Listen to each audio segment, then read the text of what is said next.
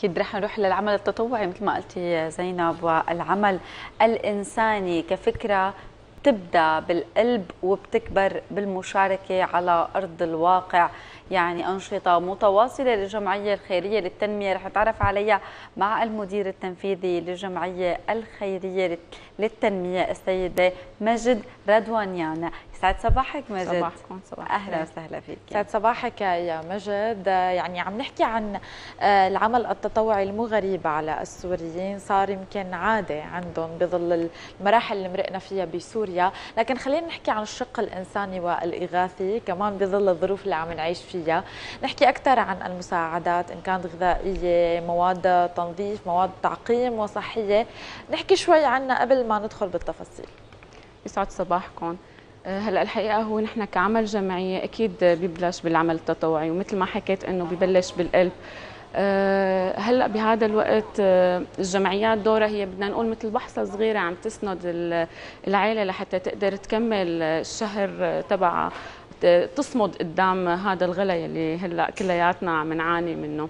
هلا نحن بيجي دورنا كجمعية إنه نكون شوي ساند لهالعائله لحتى تشعر بكرامة آه، تأمن على القليلة المواد الغذائية يلي هي بحاجتها لحتى تكفي يومها. والأشياء الثانية اللي ممكن إنها تكون عم تحطهم بالمصروف المواد الغذائية هي ممكن تدفعهم على الدراسة على الطبابة على أي أمور ثانية فدور الجمعيات هلأ بهذا الوقت بتحسي ببداية الأزمة كان في دور كثير واضح على الأرض. بس هلأ آه، صار الدور آه، لازم يكون فعال أكثر لأنه الحاجة صارت كثير كبيرة. يعني صح. توسعت كثير رقعة الحاجة والعائلات اللي هلأ هي إنه بدها دعم أو مساندة صار عدد لا يحصى. أكيد. صحيح يعني مجد ذكرتي نقطة مهمة ولازم أكيد نحن نسلط الضوء عليها عبر شاشتنا الصغيرة وهي غلاء الأسعار اللي عم يعاني منه. كل العالم ونحن من العالم يعني شو ما يقولوا دائما زينب إنه عم يحكوا نحن منكم نحن عم نعاني بشراء الحاجيات وعم نعاني بشراء المواد الغذائية وحاسين بالوضع ولكن دائما إذا كنا إيد وحدة أو مسكين بإيدين بعض يعني مثلا يلي عنده خلينا نقول 3 كيلو سكر وجاره طلب منه كيلو سكر ففيه يقسمه بينه وبينه. قديش كمان هذا مهم إنه نحط عليه ضمن هيدا الظروف اللي نحن عم نعيشها. هلأ أكيد هذا الشيء يمكن هلأ كمان إذا ملاحظين على وسائل التواصل الاجتماعي قصة الأدوية. فال يعني انقطاع الأدوية هالقصص الوقت هلأ اللي عم بيصير بتحسوا العالم طلعت مبادرات فردية. يعني اللي عنده علبة دواء زيادة عم يحطها عم يشوف مين بيحتاجها. بقى نحن موجودة هاي ال هاي ال الحس إنه نكون عم نساعد في بعض موجود بس قد إيه قادرين بعد لسه نقدر ندعم بعض.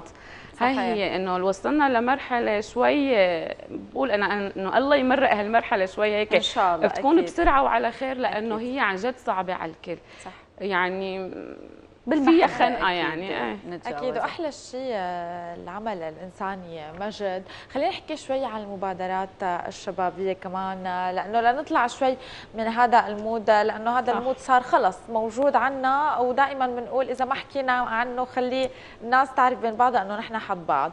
بس خلينا نحكي شوي عن المبادرات الشبابيه اليوم. آه تشبيك مع عدة جهات كمان من جمعيتكم. أنتم ما بتشتغلوا بس لحالكم في تشبيك مع كثير من الجمعيات. أكيد.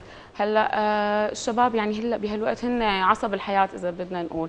فمنهم بتطلع حتى الأمل هن يلي ممكن يزرعوه بين الناس يكون هالمحبة عم بتصير.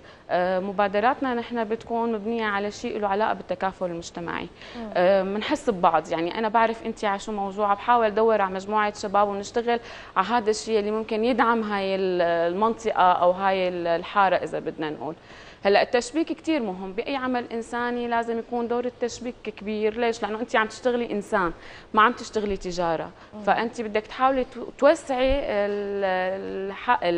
المساعدة اللي انت ممكن تقدميها عن طريق أشخاص ممكن ما توصلي انت لهذا المكان.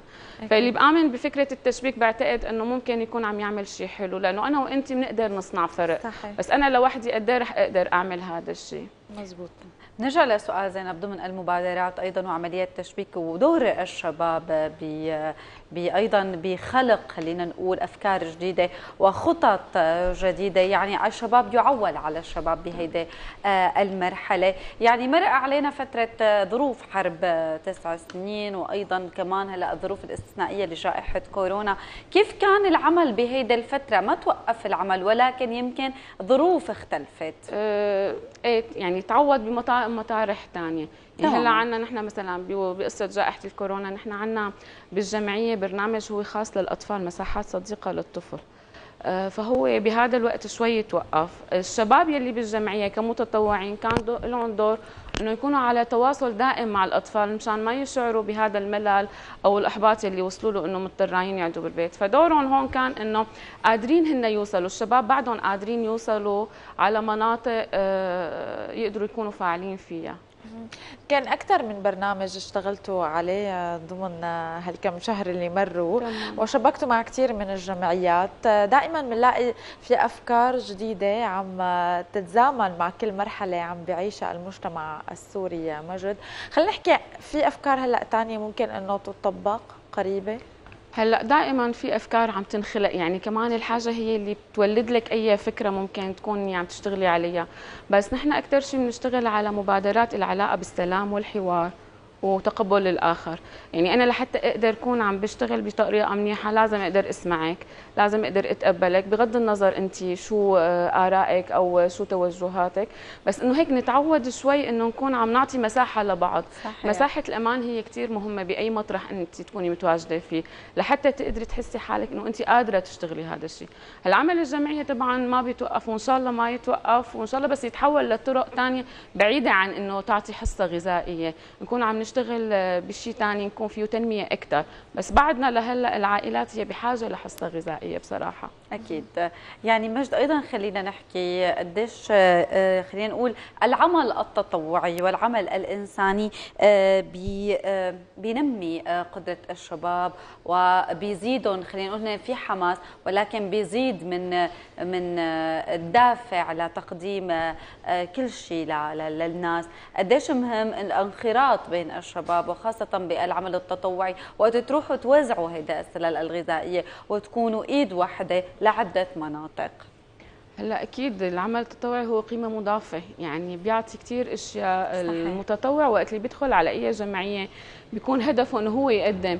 بس بالوقت اللي بيكون هو عم يقدم فيه كمان عم يحصل على أشياء ثانية كثير ذات قيمة يعني معنوية أكثر من مادية إذا بدنا نقول. المتطوع ما كثير بينظر للقيمة المادية. هلأ هي آه، خاصية التطوع يمكن شوي تفاوتت بمناطق. آه، جمعيات بعدها محافظة على قيمة التطوع كتطوع. وجهات صار التطوع عندها هو آه، فيه مردود كثير كبير فما عاد اسمه هذا التطوع. نحن بعدنا بالجمعية محافظين على قيمة التطوع يعني الشخص الشاب اللي بيجي لعنا أو الصبية هن متطوعين بالوقت اللي قادرين يقدموا فيه آه، أي مساعدة. وبنفس الوقت هن بيكونوا عم يحصلوا على قيمة مضافة لهم آه، عدا على بناء القدرات يعني إحنا المتطوعين نشتغل كثير على بناء قدراتهم. هذا الشيء كمان بيكون دافع لهم إنه يتطوروا فكريا واجتماعيا وثقافيا. بيساعدهم هذا الشيء. نعم أكيد. مجد خلينا نحكي بالختام. يعني بنعرف كثير من السيدات والشباب آه، عم يشتغلوا معك بالعمل التطوعي. في تشبيك مثل ما قلنا. في كثير من الناس عندها أفكار ممكن تجتمعوا وتتبادلوا هي الأفكار لتنفيذها. وممكن حدا يعطيكي داتا أو معلومات عن أي آه، يمكن عائلة أو يمكن منطقة معينة. فشو بتحبي توجهي لهم آه، كمان كلمة لهالسيدات أو الشباب اللي موجودين معي هلا آه، كل شخص هو من مكانه قادر يعمل أي شيء يعني من مبادرة فردية لمبادره مجتمعية. التشبيك كثير حلو. بأي شيء أنت بتكوني عم بتقدمي كثير حلو إنه يكون عندنا هذه القابليه إنه نتبادل المعلومات وما نكون محتكرين لأنه هو بالنهاية خدمة بدها توصل للمكان الصحيح. فبدي أقول إنه إن شاء الله هيك كلياتنا يكون هذا الوقت إيد وحدة نضلنا إيد وحدة ونساند بعض وندعم بعض لأنه هذا الوقت هو بحاجة إنه كل حدا يدفش الثاني وكل حدا يعطي أمل، الأمل حلو بعدنا نحن آه، كمجتمع سوري عاش على الأمل فترة كثير كبيرة من الوقت. وبعدنا عايشين. وبعدنا عايشين. لو ما نحن عندنا هذا الدافع الأمل وحب للمكان وحب للبلد وللأرض اللي نحن فيها يعني ما كان عندنا هذا الشعور اللي إنه نحن دائما نكون باستمرارية.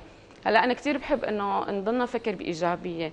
آه، ما نضلنا واقفين عند النقطة يلي نحن فيها. صح الوضع كثير صعب وصح كلياتنا عم نعاني بس إنه إذا قعدنا واستسلمنا ما فينا نعمل أي شيء. لا إنه حلو إنه نحاول نبدع بأفكار. بجوز أنا عندي فكرة بس ماني قادر نفذها.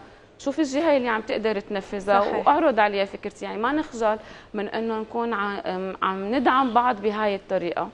وإن شاء الله هيك تكون سهلة على الكل وتكون فترة وبتمرق. يعني دائما في غيوم سوداء عم تمرق على سوريا بس من بعد يعني بتمرق بعدين خلص. يعني بنرجع بنطلع من أول جديد وبيرجع بيطلع الياسمين مثل ما هو. إن شاء الله. يا رب. نحن دائما بنشدد على الامل دائما بنشدد على إنه تكون طاقتنا إيجابية لنشر هذه الطاقة الإيجابية بين محيطنا وانتمائنا أكيد هو الأقوى رغم الظروف تمام. المحيطة فينا. بدنا نتشكر وجودك معنا وبتمنى لكم كل التوفيق.